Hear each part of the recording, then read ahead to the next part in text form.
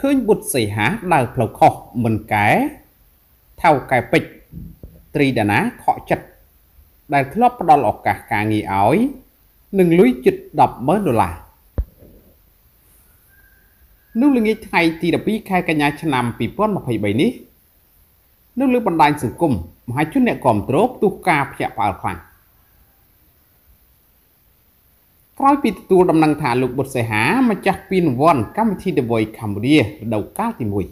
1ត្រូវបានសមត្ថកិច្ចស្រុកកងពិសីខេត្តកំពង់ស្ពឺ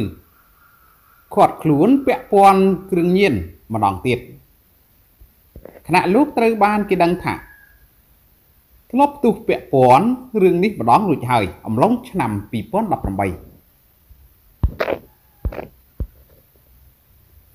គណៈទទួលដំណឹងនេះ ទាំងមហាជនអ្នកគ្រប់គ្រងលើបណ្ដាញសង្គមក៏ដូចជាសិល្បៈជាច្រើន បានបង្ហោះចែករំលែករូបភាព និងបញ្ចេញមតិវែកញែកព្រមទាំងបង្ហាញការស្ដាយខ្លាំងចំពោះតារាចម្រៀងប្រុសដ៏មានសមត្ថភាពរូបនេះ ដែលបានដើរផ្លូវខុសពាក់ព័ន្ធរឿងនេះម្ដងហើយម្ដងទៀតក្នុងនោះផងដែរគេក៏ឃើញ បណ្ដាញសង្គម Facebook ផេករបស់ថៅកែពេជ្រលោកស្រីត្រីដាណា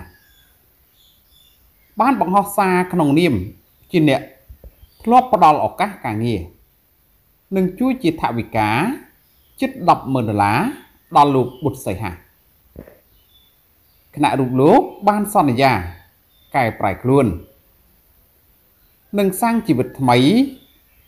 វិលចូលសិល្បៈវិញប៉ុន្តែ ក្រោយឃើញបែបនេះ បានធ្វើលោកស្រី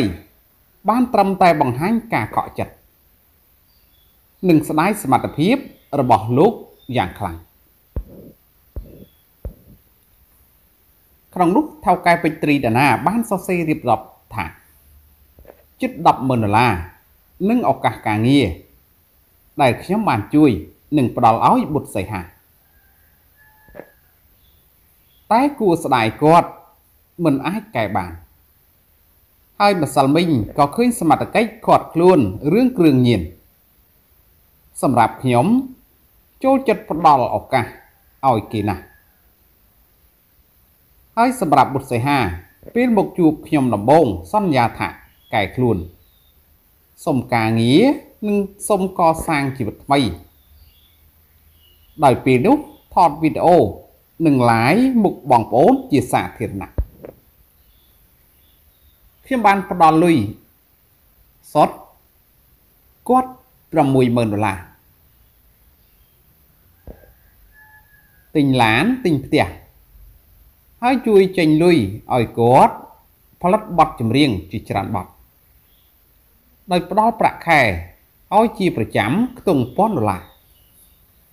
តែមួយរយៈខ្លីក៏ឮថាលក់ឡានលក់របស់អស់ចាយលុយអស់ ដើរលេងតាក់តងលេងបានលេងថតបទចម្រៀង សម្រាប់ខ្ញុំ ជួយគេមិនដែលចង់បានអីមកវិញក៏មិនដែលរំលឹកដែរវាជាបនរបស់ខ្ញុំ តែខ្ញុំស្ដាយសមត្ថភាពយ៉ាងណាក៏ហួសអស់ហើយរឿងបន្តទៀតមានតែខ្លួនគាត់ប៉ុណ្ណោះព្រោះជីវិតមនុស្សមិនអាចមានឱកាស ច្រើនដងទេបាទហើយអត្ថបទព័ត៌មាននៃខ្ញុំបាទបានជម្រាបជូនខាងលើនេះក៏មានតែប៉ុណ្ណឹងសូមអរគុណសូមជម្រាបលា